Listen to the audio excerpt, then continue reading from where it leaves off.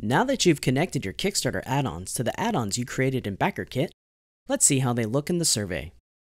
Go over to the Preview Survey page, select the pledge level, choose a country, and preview a backer that either paid for shipping or did not pay for shipping during the campaign. Checkmark the Preview with Kickstarter add-ons box, which will add all Kickstarter add-ons to the test backers survey.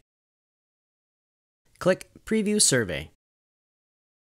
On the survey welcome page, click Get Started. Answer any pledge questions and click Next. If a backer purchased add-ons during the campaign, they will be taken to a special page to confirm those add-ons.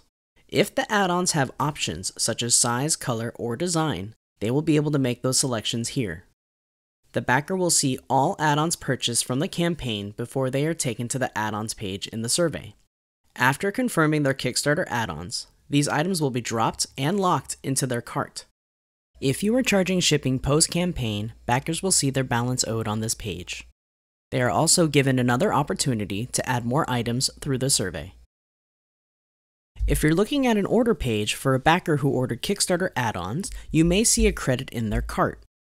This credit will go into the Kickstarter add-ons once they confirm those through the survey.